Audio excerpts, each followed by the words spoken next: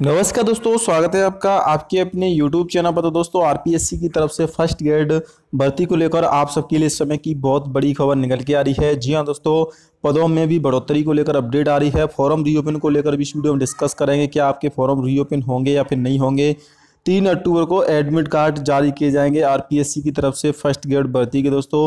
हालाँकि एक बार संशोधन का मौका आपको दिया गया है कि आप इसमें संशोधन कर सकते हैं। अगर आपके फॉर्म में कोई मिस्टेक है दोस्तों तो संसद वाले छात्रों को इसमें मौका दिया गया है। अगर मैं व्याख्याता की बात करूँ तो दोस्तों तो दस जिलों में, दस जिला मुख्यालय पर परीक्षा सेंटर आपके रहने वाले हैं। ज़्यादा इसके सेंटर नहीं बनाए जाएँगे। क्योंकि दोस्तों नकल को रोकने की वजह से ऐसा किया गया है और जहाँ पर नकल संभावित क्षेत्र है, वहाँ पर एग्ज़ाम सेंटर भी नहीं बनाया गया है। पूरी जानकारी इस वीडियो में मिलेगी। आप वीडियो को पूरा ज़रूर देख लेना। साथ में अगर आपने चैनल को सब्सक्राइब नहीं किया तो चैनल को भी सब्सक्राइब कर लें। तो दोस्तों फ़र्स्ट ग्रेड या स्कूल व्याख्याता के लिए छः हज़ार पदों पर फॉर्म भरवाए गए थे। पाँच लाख तैंतीस हज़ार फॉर्म टोटल इसमें भरे गए हैं। और इसमें जो एग्ज़ाम होगी दोस्तों, ये दे सकते हैं, सोलह हज़ार स्कूलों में प्रिंसिपल के चवालीस परसेंट व्याख्याता सेकेंड ग्रेड के पद खाली हैं। दो साल से डीपीसी नहीं। जी हाँ दोस्तों, यानी कि जो पद हैं, वो खाली चल रहे हैं, इनको भरा जाएगा और क्रमोन्नत करके भी पद भरे जाएँगे। कुछ आपके दोस्तों भर्ती कराकर पद भरे जाएँगे। तो स्कूल व्याख्याता की जो भर्ती है दोस्तों, काफ़ी इंपॉर्टेंट भर्ती रहने वाली है।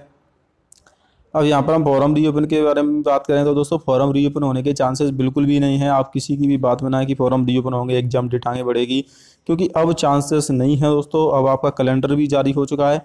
और जो कैलेंडर आया उसके हिसाब से दोस्तों आपके जो एडमिट कार्ड हैं, वो आपके जल्द ही वेबसाइट पर अपलोड होंगे तीन अक्टूबर तक। तो ज़्यादा समय नहीं बचा है, छब्बीस विषयों में ये परीक्षा होगी, ग्यारह अक्टूबर से इक्कीस अक्टूबर तक करवाई जाएगी परीक्षा। पाँच ग्रुप बनाए गए हैं दोस्तों और विषय बार आपकी परीक्षा रहेगी दोस्तों। पहला पेपर आपका जो होगा, दो पेपर होंगे इसमें।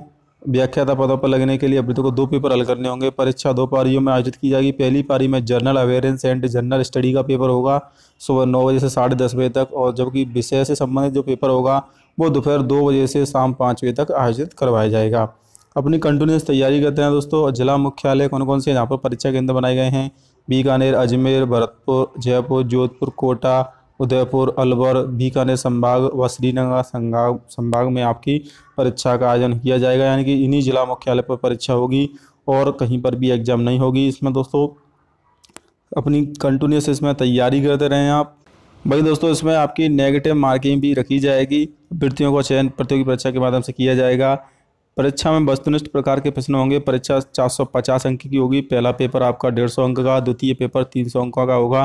टोटल आपके 450 अंक का दोस्तों पेपर रहने वाला है। नेगेटिव मार्किंग भी इसमें आपकी रहने वाली है।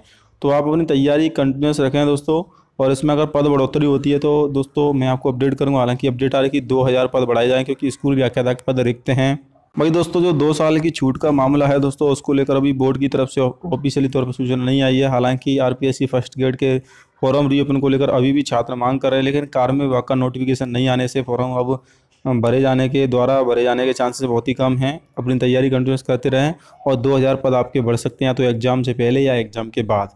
तो आप चैनल को सब्सक्राइब कर लेना आरपीएससी फ़र्स्ट ग्रेड की लेटेस्ट न्यूज़ सबसे पहले प्राप्त करने के लिए। जय हिंद बंदे मातृ